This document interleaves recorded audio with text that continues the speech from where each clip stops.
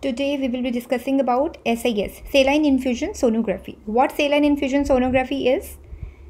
It is infusion of saline into the uterine cavity to assess the it is uh, majorly the use of SIS was to evaluate the cavity. But the second use of SIS came out to be the tubal evaluation. We will be discussing this later on. So coming on to the indications, first is the cavity evaluation, which is a prime indication for SIS, the cavity evaluation. And second is the tubal evaluation, which is a secondary indication for SIS. What are the contraindications? It, they are all the more same as HSG. So any active PID, because we do not want to introduce any infection which is already present, we do not uh, want to increase that infection. That's why we will not do any procedure when the active PID is there in the premenstrual phase. Why we will not do in the premenstrual phase? Because patient can be pregnant. So that's why we do not want to dislodge that uh, pregnancy. So that's why we will not do in the premenstrual phase. Although it is also ultrasound guided, unlike HSG like uh, where the radiation exposure is there, there is no radiation exposure. But if the pregnancy happens, that pregnancy we do not want to uh, affect that pregnancy. So that's why we will avoid any procedure in the premenstrual phase. Rather in the postmenstrual phase, once the menses uh, get over, after 2 to 3 days, we can do the SIS, just like HSG. Any recent DNC, and any undiagnosed pregnancy. So all these conditions we will not do SIS. So what is the best time to do SIS? As I already told in the post-menstrual period. Once the periods get over and the patient is done with her bleeding, after 2 to 3 days we can do the SIS. What, what actually is SIS? SIS is introduction of the saline into the uterine cavity that will lead to distension of the uterine endometrial cavity. So how usually it is done? It is done usually uh, by different people will do it in the different way. Some people will take the number 8 Foley's catheter and they will introduce the Foley's catheter into the uterine uh, cavity into the endometrial cavity and uh, fill it with 1 to 2 cc of saline and give the traction over the uh, the internal os. Till the internal os that balloon will be kept. And uh, then the uh, the some amount of saline is infused inside like uh, around uh, 10 ml of saline because usual endometrial cavity volume is around 3 ml so that 10 to 12 ml of saline up to like 15 ml is enough to see the uterine cavity so once uh, this is done th there is another method to do SIS which is little less painful that is to do it with IUI catheter.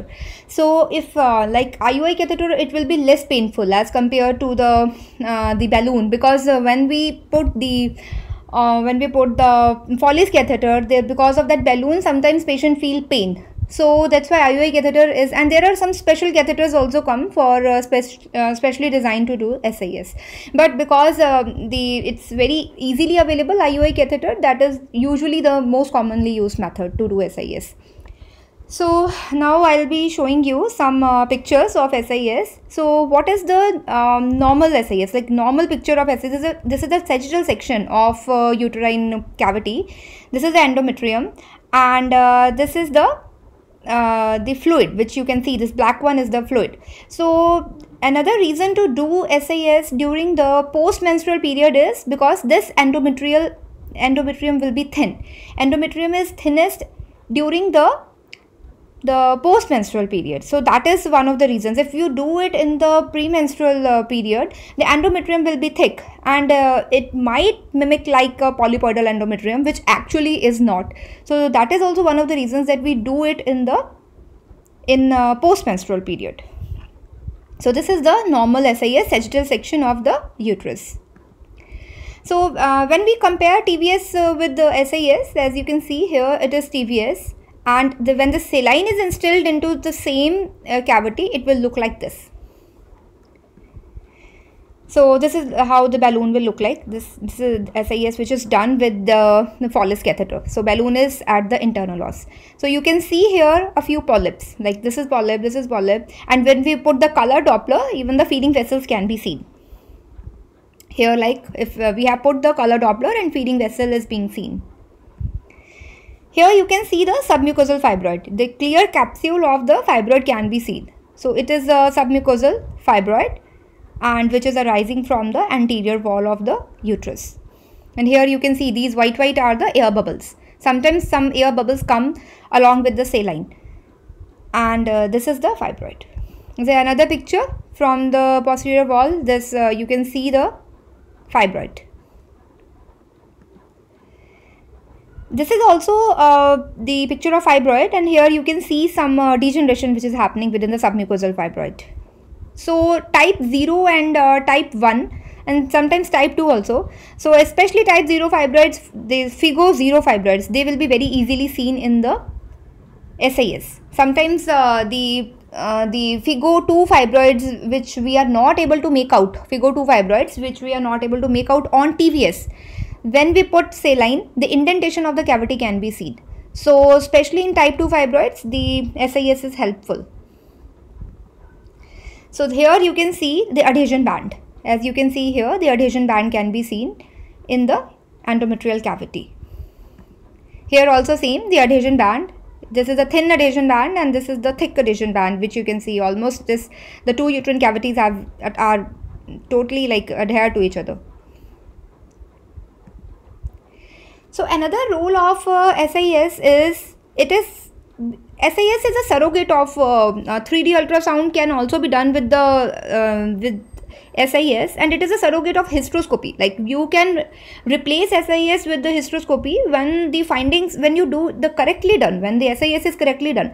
It is a very good method to replace hysteroscopy. Like here we have done the here you as you can see the 3D 3D ultrasound has been done. And you can see this septum very clearly because the uterine cavities the fluid has distended into the uterine cavities. And you can see the septum coming in the in the coronal section of the uterus. So it's very clearly visible here. Another role of SIS as I told you uh, previously, it was used only for cavity evaluation, but nowadays SIS is used for tubal evaluation also. But there are some issues involved with the, uh, using it for tubal evaluation. Uh, we will be discussing that. But the, there is another, uh, this is very important thing, like sometimes the tubal evaluation can be done with SIS only. So there is when you will putting the fluid uh, inside the uterine cavity, this clearly waterfall sign. This is known as waterfall sign. Clearly the fluid will come in the pouch of Douglas and you can see the fluid coming from the uterine cavity into the fallopian tube and then the fallopian tubes can be seen floating into the into the pouch of Douglas this because normally fallopian tubes we cannot see on ultrasound but when there is some fluid collection is there as you have you might have seen during the ovulation because sometimes the fluid comes and the tubes become very apparent the fimbrial end you can see. The same way when the fluid we put and it has uh, it has come in the pouch of Douglas the tubes can be seen floating. So and uh, there is one more sign which is uh, this floral sign can come. This can when you put Doppler along with that fluid when this fluid here the fluid is coming the and you put the Doppler. Here this floral sign can be seen which is a marker of tubal patency. So now uh, what are the problems? Why SIS is not so as famous as HSG or hysteroscopy? So because it's a it is a form of ultrasound and it is very user uh, dependent. Like the performance of the SIS is dependent on the person who is doing it. So the, sometimes the interpretation becomes very difficult and we cannot see where, what the site of block is. Like in HSG we can see the site of block. But here we cannot determine the site of block. And uh, sometimes uh, sometimes it can diagnose the tubal uh, adhesions but not always. It's very difficult to diagnose peritubal adhesions and mobility of tubes. All these things are very difficult to diagnose with SIS when compared to other methods like hysterolaparoscopy or HSG uh, and the findings are as I already told very subjective so, and another thing, there are high false positive results in massive hydrosalpinx. Very big hydrosalpinx, we will be thinking that fluid is there. But that is uh, actual not a free spill or the typical waterfall sign. But what are the advantages? The water advantages are like it's an office procedure, it's a very easy procedure, no radiation exposure, patient doesn't need any anesthesia, and it's a very well tolerated procedure. And it can and it uh, is very cost effective also. You do not need any anesthesia and it is uh, like it's a reproducible procedure. You can do it again.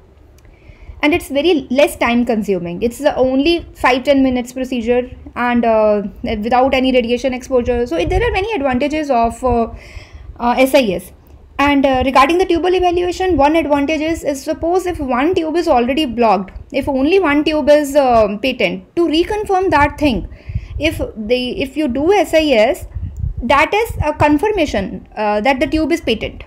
Like uh, already we have uh, we know that a history of salpingectomy is there for example. Patient had tubal pregnancy and there was salpingectomy was done.